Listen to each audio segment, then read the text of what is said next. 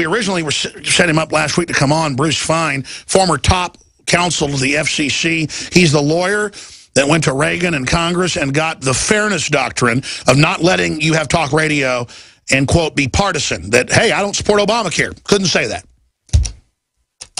Google's coming out now with their own fairness doctrine saying they'll decide what websites to be promoted and linked to, and Democratic Party groups connected to Soros are running it as usual. Bruce Fein, uh, again, is a best-selling author. He has a blog daily in the Washington Times uh, that you can find there. And he's going to cover the waterfront with us uh, here on that issue, with with with, with uh, currently with Israel, uh, his take on Russia, Ukraine, but mainly the 300 plus pages that the FCC had won't release. He won't testify before Congress. I can't remember this type of arrogant uh, behavior. Bruce Fein's constitutional lawyer. He was Ron Paul's uh, domestic and foreign affairs advisor in his presidential campaigns. So he knows what he's talking about when it comes to foreign affairs as well as domestic. So I appreciate Bruce Fein joining us. Bruce, uh, let's get into this situation with Israel first. What's your take? You heard my breakdown. Yes, I did. I, I think one of the first things the audience should remember that uh, Prime Minister Netanyahu also testified for Congress in 2003 regarding the invasion of Iraq. And at that time, he testified unequivocally that he knew uh, Saddam Hussein had weapons of mass destruction, that he would use them. He also said that, in his view, the cure of Middle East ailments was to democratize the region. Uh, you know, uh, as it's become undemocratized with Arab Spring. And, and anybody who could think you could take uh, political cultures that are pre-Magna Carta or pre-1215 and development and democratize them really needs their head examined.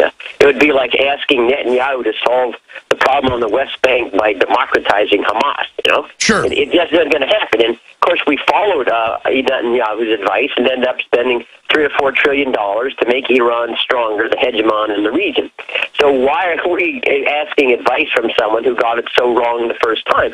Aside from the recognition, I'm not blaming Prime Minister Netanyahu. His interests are been being reelected and in Israel, not the United States. So he obviously has a conflict with the U.S., so why are we paying so much attention to him? And by the way, the Israelis are saying that and even blocking out some of his speech if it's political. And uh, he doesn't have unified total support. I'm not attacking Netanyahu either. It's just that the right wing in this country, and we're more conservative, has this idea we do whatever Netanyahu says no matter what. Well, it you know, it, it's just not our fight. No, you're, you're right. No, and if I can uh, divert for just a moment here, as a joke said uh, years ago that Netanyahu was asked whether he wanted Israel to become the 51st state of the United States. He said, "Are you kidding? And lose 100 votes in the Senate? No way." You know. um, but but we need to remember our interests are are oftentimes aligned with Israel's, but not always. Uh, but our interests should trump Israel's interest. We have no interest in interfering or permitting our politics to be manipulated by Israel for their own domestic affairs. It just wins us enemies. Uh, and moreover, although I say we're often aligned with Israel, we shouldn't be uh, uh, subject to the baggage when Israel makes a decision we think is misconceived, and sometimes they do. After all, it was the Israelis who ultimately were the uh, supporters of Hamas to oppose at that time Yasser Arafat. Sure. So they can make mistakes, and we shouldn't be tied to their mistakes.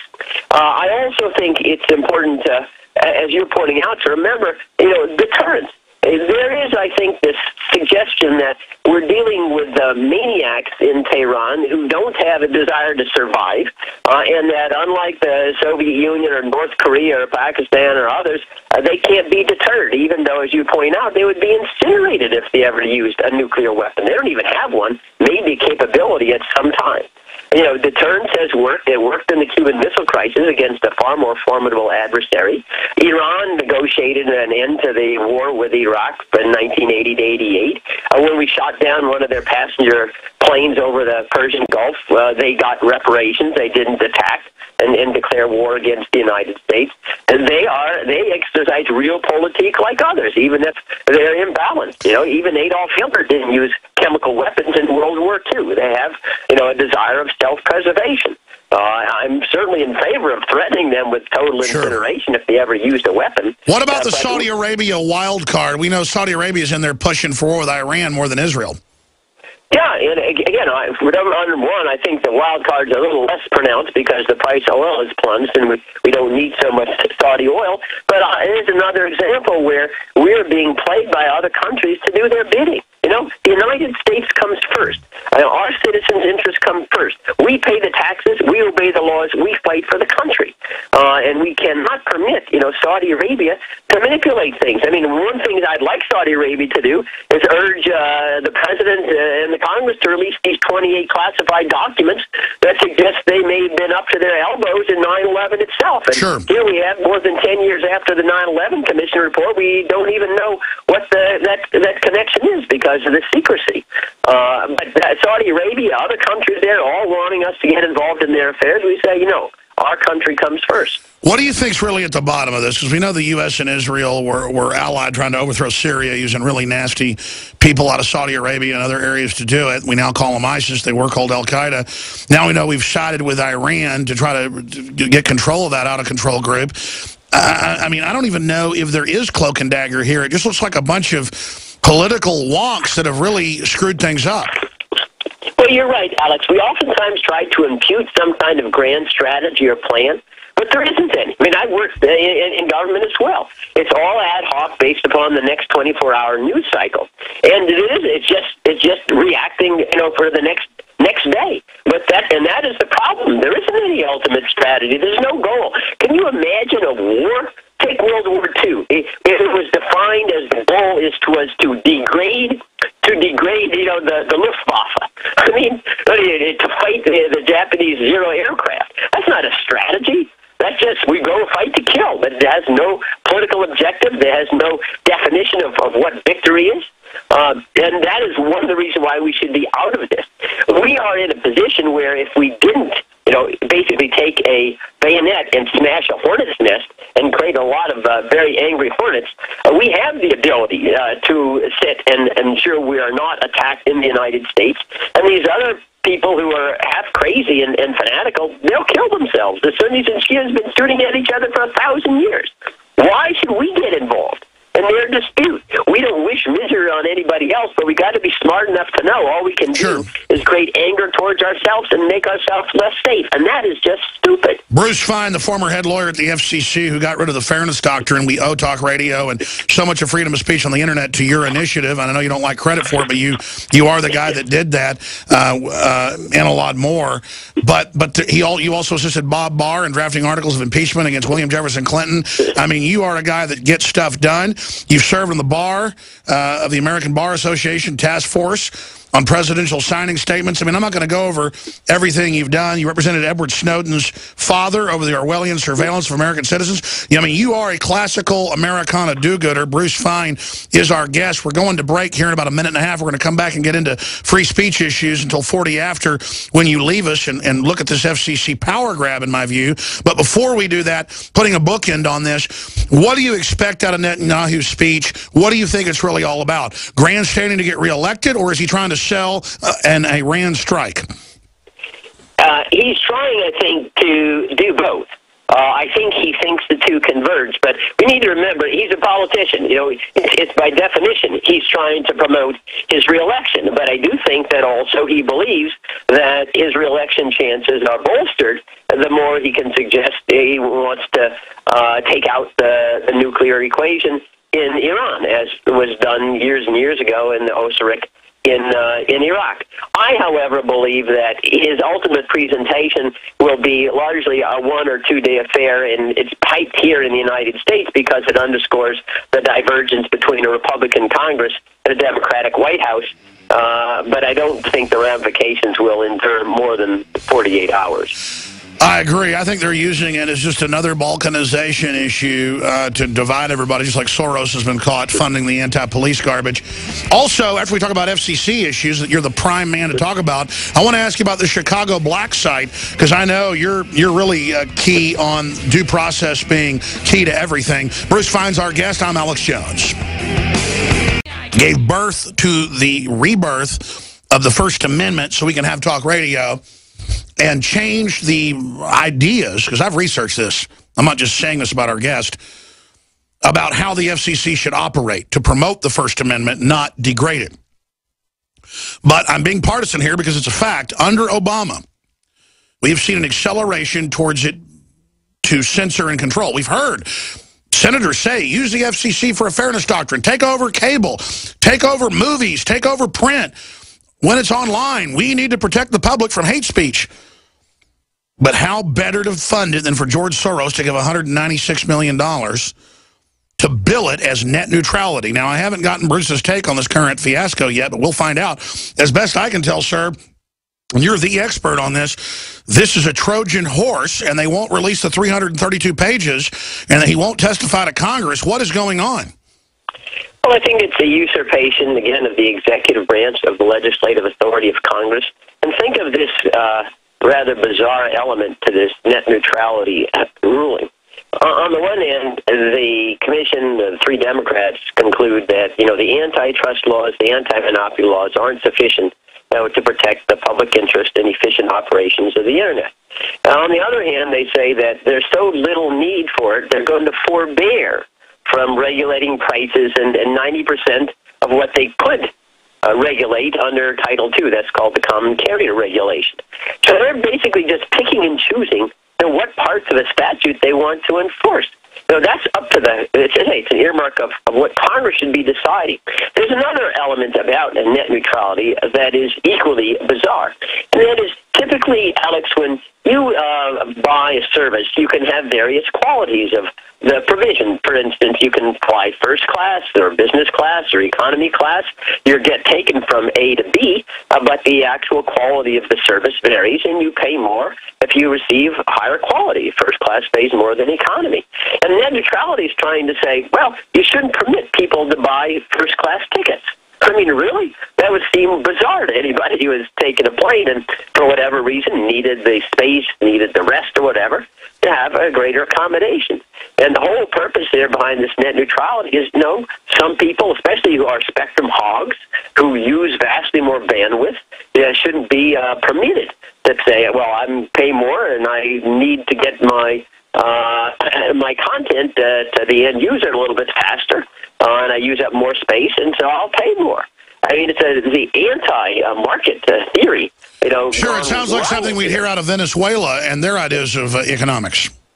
Yeah, exactly. That, that's a, it's trying to it's a, a variation of Gosplan, uh, the Soviet method of uh, distributing goods and services, where you have the government deciding, you know, how much and who should be paying what for what quality of uh, of internet connection. But isn't, I mean, aren't we missing the really big issue here? And correct me if I'm wrong.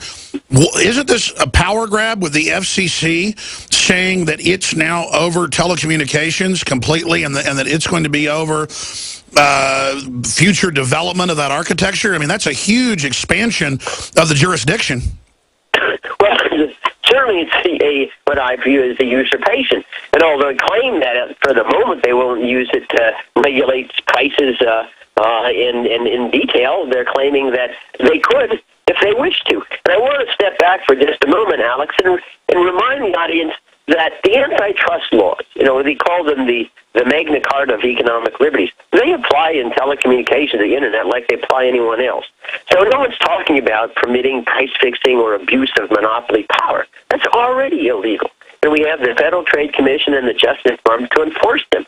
So while we have the FCC coming back and saying, well, we know better than the Charter of Economic Liberties, you know, how the Internet should be run, especially ridiculous conclusion when it's the Internet that's, that's really the, the engine. It's the 20 cylinders of our economy that's making things move. Why are you trying to mess up something that's working very, very well? And the answer is it goes back to politics and, say, disgruntlement uh, uh, with uh, the way the market system works, as most progressives and, and liberals are. They don't believe in free sure. trade. Why would the chairman not show up to Congress? That seems very belligerent. Well, not only that, in my view, Congress has the right not only to the chairman's uh, testimony, but to anybody else's. You know, it's an attempt probably to avoid what could be very uh, embarrassing questions.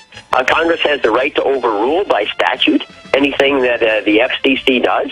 Uh, of course, the president could veto it, but that's a congressional prerogative. And, and to refuse to show up really is another example of how the executive branch has just become almost a one-branch tyranny. Let's come back uh, the with that. The legislative branch has shrunk to, to almost uh, uh, a cipher. And, and I would be holding these people in contempt and fining them each day. Stay there, Bruce. Fein. One more segment. We're, We're on right the back. march. You're saying you would sanction people more and more. Uh, I mean, I've been following C-SPAN for 30 years. I've never seen behavior like I've seen uh, from the executive, and then the Republican leadership seems to roll over because they're licking their lips, I guess, to have all this power when they get a, a president in charge. So, uh, again, I'm worried about an imperial presidency, not even so much Obama, but I am shocked by the left that if Bush was trying something like this, you would have just heard howls. And, and now they say, hey, you know, a lot of make Obama a dictator. He can give us some free stuff then. Uh, just incredible political ignorance. So so please finish up on that, uh, Mr. Yeah, Fein. well, it- I mean, it's, it's very, very important, um, uh, Alex, in, in a democratic country like ours, you know, that we have government in the sunshine. There are a few things that need to be secret location of truth, but relatively few. Transparency, sunshine is said to be the best disinfectant. So we have a right to know what our government is doing. How can we give consent to a government that's acting in secret? And so the whole idea that, and, and, and when I was working as counsel on the Iran Contra Committee, this is uh, during Reagan uh, period. I mean, President Reagan was having Secretary of State George Shultz testify, his national security advisor was testifying, Cap Weinberger was testifying, Secretary of Defense. It was all open in the sunshine. This is President Reagan. And now we have people like, you know, Chairman of the FCC, I don't want to answer questions. I don't want to show up. Well, the Congress should be telling you, one, if you don't show up, we will impeach and remove you from office because you have an obligation to explain to the American people what you're doing and why because you are their representative. You work for them, not for Obama. You work for we the people who are sovereign. And if they are recalcitrant, they should impeach them or fine them 50,000, 100,000 every day that they don't appear. And you're right, it's stunning. Congress says, well, please tell us. You know, they wring their hands and do nothing. So they get they get treated, you know, like they're second and, and, and third tier players because they simply won't stand up and defend their authorities. Now, maybe you're right. They're just waiting for the White House so that they can be the oppressors rather than the oppressed. But that's not uh, a very optimistic outlook for the future of the country. Because I don't want to be oppressed by anybody in the White House. Exactly. Republican or Democrat. Well, also, they, they promised to release the 332 pages as soon as they announced it, and then they haven't released it, and are now have the Washington Post making fun of anybody that asked to see it when we know they printed it up in book form, and they've been waving it around on TV for a month with this red tape around it. Uh, so I guess if they don't testify to Congress, why ever release it? They can be like the CIA. It'll just be secret. Yeah, I mean, and, and say secret government is antithetical to anything like representative democracy. How can you have a government that doesn't even tell you what it's doing? After all, we get to decide to approve or disapprove what's being done here. They don't get to issue by decree. You know, there are elections and things can change. And is this arrogance that's that's totally antithetical to what our founding fathers thought, know, free and open government would be about. Other points, where do you expect this to go? The Hill, and I think rightly says th that this has to go through a gauntlet, these rules, and that that's why they're not releasing them.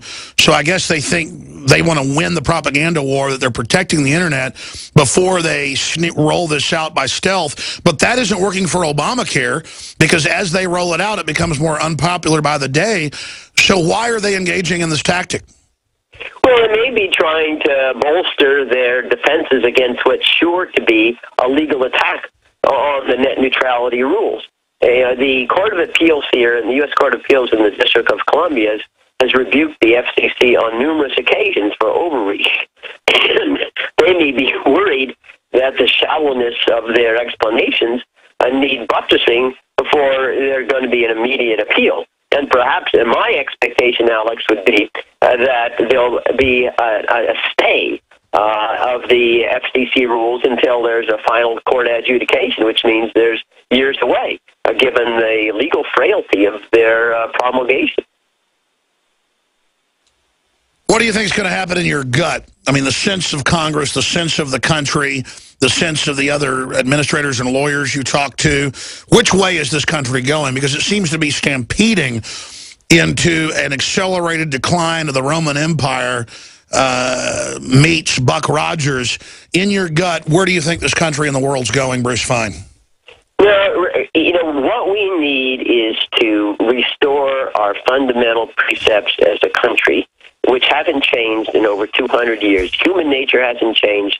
You know, the the empire uh, psychology hasn't changed, and we have, know, I think, Alex, anywhere from 30, maybe 35 years to completely reorient ourselves as a country whose influence abroad is the influence of example. We need to restore separation of powers back home, transparency. We defend ourselves, but we don't go abroad in search of monsters to destroy. Borrow 18, 19, 20 trillion dollars running around the world like Don Quixote, thinking that we can change cultures that are a thousand, five thousand years old, if ethnic you know, rivalries and, and, and despotism into democracies. You can't do it.